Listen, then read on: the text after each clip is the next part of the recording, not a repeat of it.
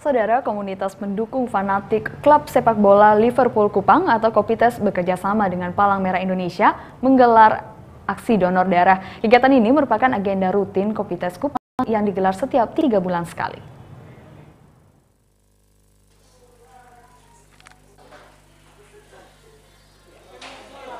Berbeda dengan komunitas pendukung fanatik klub sepak bola yang lain, Kopites atau sebutan bagi komunitas pendukung fanatik klub sepak bola Liverpool selalu mengadakan aksi sosial donor darah. Armi Jami, Ketua Kopites Kupang, mengatakan kegiatan yang bertajuk Kopites Kupang Peduli ini bekerjasama dengan Palang Merah Indonesia Kupang.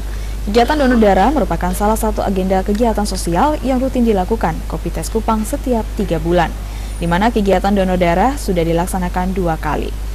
Berangkat dari slogan klub sepak bola Liverpool asal Inggris yakni You Will Never Be Alone atau Kamu Tidak Akan Pernah Sendiri, maka Kopitas Kupang menganggap setiap orang yang membutuhkan darah di rumah sakit tidak akan pernah sendiri, tetapi dengan kegiatan donor darah, Kopitas Kupang bisa membantu.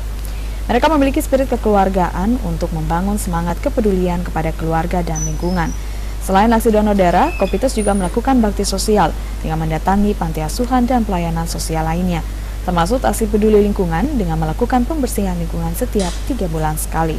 Setiap manusia, setiap orang tidak serta-merta mau mendonorkan darah untuk saudara yang lain. Jadi melalui kegiatan ini, kami dari Komite Kupang mengajak saudara semua yang ada di Kota Kupang untuk mendonorkan darahnya kepada saudara yang lain. Untuk diketahui dalam kegiatan ini, Kopites Kupang berhasil menyumbangkan 25 kantung darah Diharapkan darah yang sudah disumbangkan dapat bermanfaat bagi yang membutuhkan. Kris Poto, TVRI NTT.